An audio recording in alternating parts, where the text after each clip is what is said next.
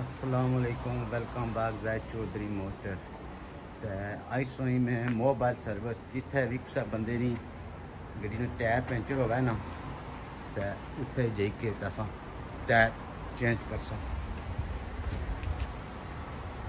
सब तो पहले सो को बैंड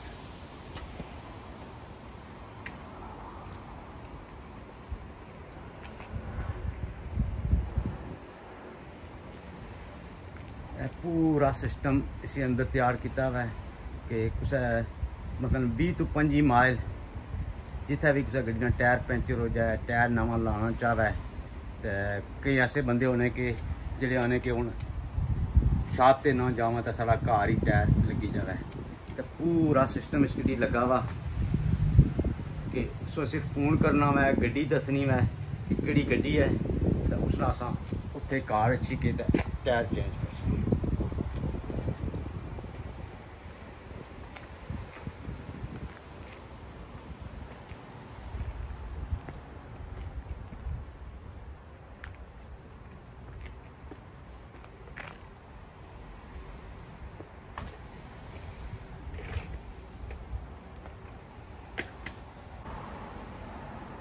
ਤੇ ਇਹ ਜਿਹੜੀ ਸਰਵਿਸ ਹੈ 24 ਆਵਰ ਹੈ ਡੇ ਨਾਈਟ ਮੋਬਾਈਲ ਨੰਬਰ ਵੀ ਲੈਂਡ ਨੰਬਰ ਵੀ।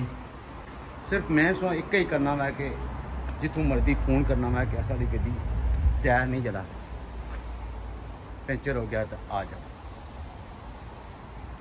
ਇਹ 24 ਆਵਰ ਸਰਵਿਸ ਹੈ।